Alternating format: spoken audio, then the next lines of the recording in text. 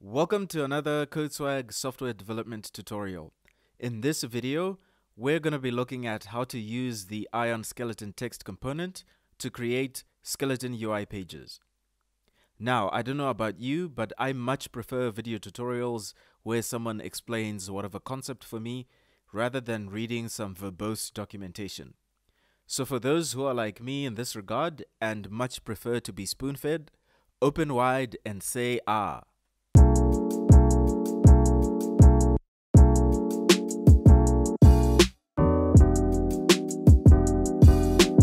First, I'm going to explain what skeleton pages are and why we use them. But if you want to just cut right to the chase and get to the code, click on the timestamp in the description below. So what are skeleton UIs? Skeleton UIs act as placeholders for content before it loads. This is a very common pattern in many modern applications I'm sure you've seen them in the Facebook app, for example, and they're becoming more and more common. In many cases, they're completely replacing loading spinners. UI skeletons are also known as skeleton pages or ghost elements.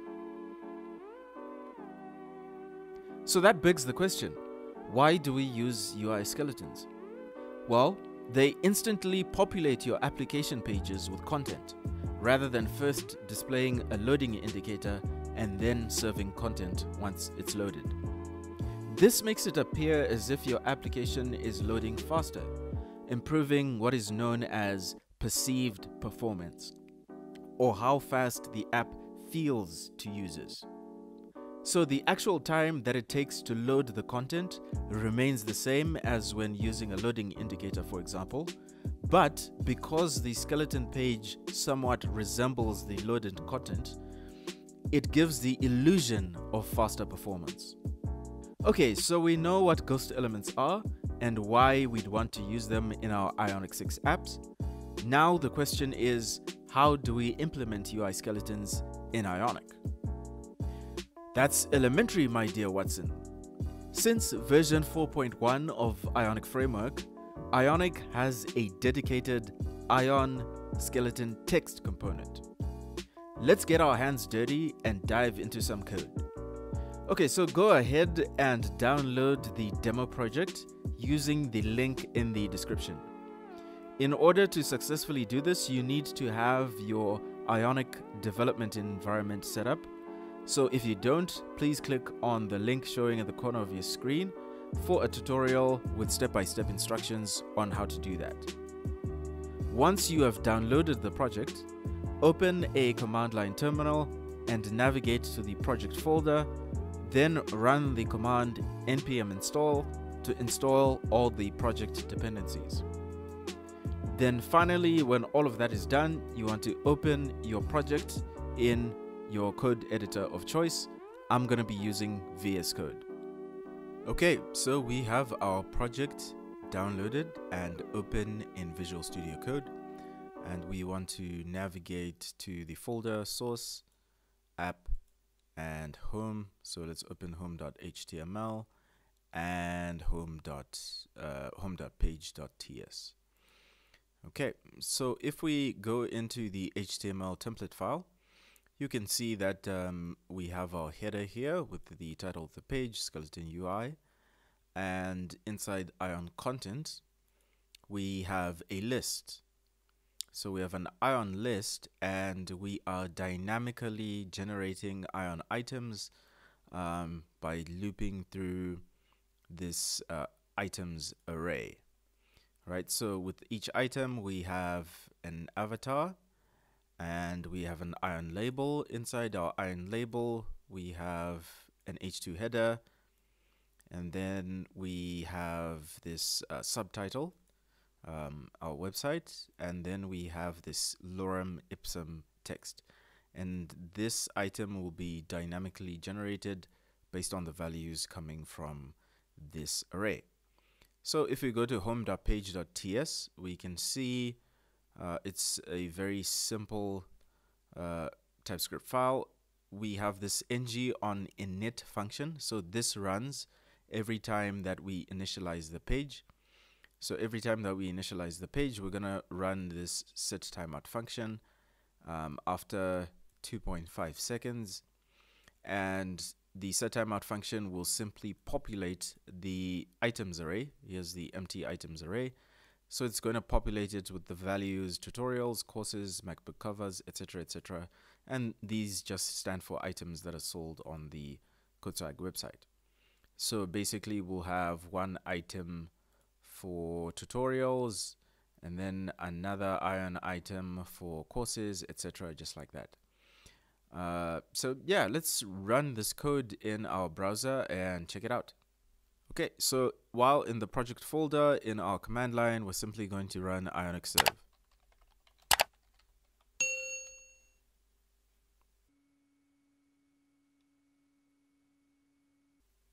Okay, so it's open in our browser. There's nothing for 2.5 seconds. And then after 2.5 seconds, our array is populated and these are the results. So we have our ion list, here's our avatar, our title, the subtitle, and the lorem ipsum text. Right, and we have a, a header here saying skeleton UI. So that's basically the application. Um, if you're wondering how I got to the screen, um, initially uh, it's like that. So I pressed Control Shift I on Windows or Command Shift I on a Mac and you want to click on this little device icon. So this will toggle the device and you can come up here and select um, any device size you want. So that's how we get this nice looking mobile uh, frame. Okay, so that's it for the basic code. Let's go back to our code editor. Okay, so traditionally what happens in an application is you'll have a spinner. So let's uncomment this code. Um, this code is very simple. We have a span that uh, contains an ion spinner and the ion spinner will display only if our items array is of length uh, only when it's uh, zero or less. All right, this is so here it's saying if it's greater than zero and then we have this not operator. So when it's not greater than zero.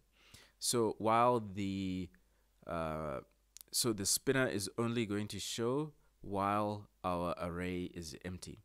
So if we press Control S to save or Command S on a Mac and go back to the browser, and if we refresh in our browser, you'll see we have the spinner displaying for the 2.5 seconds and then um, everything comes up as expected. So this is the, the more traditional way of um, having our loading screens.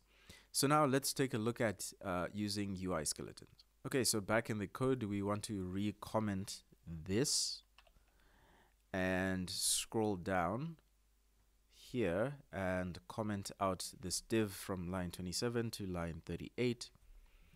So basically we have this div that is again conditionally showing so long as our items array is of length 0 and here we are generating uh, seven uh, ion items. So we have this ngFor and uh, this predefined array so that we generate a set number of items. Um, because I looked at how many items we'd need to cover the whole uh, page. So how many items to roughly cover um, these, right? So what happens is uh, if we scroll uh, like so, so here we have our avatar with an image inside, right? And then when we are using our skeleton pages, so we do the same thing, we create our avatar, but instead of putting an image inside, we put in this ion skeleton text uh, component, right? And then we also uh, pass in this option for having it animated. So that's gonna create this sort of shining effect on the uh, skeleton text. And if we scroll down, so here we have our ion label with our header, our subheading, and our text on the inside. So we have the same thing. We have an H3 here. Um, actually, that's a bit of a difference because it, it has H2, but not much of a difference, right? And then here in our sub, we have our subtitle, and then uh, we have the same um, paragraph element, but then inside, instead of having uh, the actual subheading, we have ion skeleton text. We pass in the animated option to everything. And what differs here is we have this uh, width, uh, the style with the width being spe specified. So this is inline CSS. If you wanted, you could uh, remove this, not have this here, but actually place it in, in the SCSS file. That would still work, so long as you're uh, applying a class or an ID so that you target each specific one. Um, but this ion skeleton text, so it's going to be 15%, a width of 15%. So that means it's going to take up 15% of the uh, total screen width, right? And then have, we have this one that's 25 and this one that's 85. So these widths, what they're doing is they're trying to basically approximate this, the difference in length that we have for the header and then the subheading is a little bit longer than the header but shorter than the paragraph. And then we have the paragraph which is the longest. So that's what we're doing here with with this 15% 25% and 85% so basically that's how we use ion skeleton text. We can choose to make it animated or not animated and we specify a width right? And we also want to enclose it in the different things that we have so for the avatar we're going to have our ion skeleton text inside that. For our header, we're going to have it inside that. For our paragraph, it's going to be inside that. And um, yeah, basically that's how this is implemented. So let's press Command S to save and head back to the browser. So back in the browser, let's refresh and you can see we have our ghost element there showing. Uh, 2.5 seconds is a bit too quick, so let's change that quickly. Okay, so home.page.txt ts let's make this uh, six seconds. So 6000 milliseconds control s to save. So back in the browser and you can see this is the animation where it's sort of shiny right? Let's refresh again. So we can see our avatar here our header and this is 15% 25% uh, 85% right so basically, in a nutshell, that's how we create UI skeletons or skeleton pages or ghost elements in Ionic 6 using the Ion skeleton text element. Thank you for watching this video. Make sure you like this video, share it with a friend, and hit the subscribe button to subscribe to CodeSwag for more Ionic 6 tutorials. You can support this channel by heading over to our website, codeswag.net, where you can buy some awesome developer merchandise, or you can also become a patron on patreon.com and enjoy awesome perks like early access to our content, among other perks. See you in the next tutorial.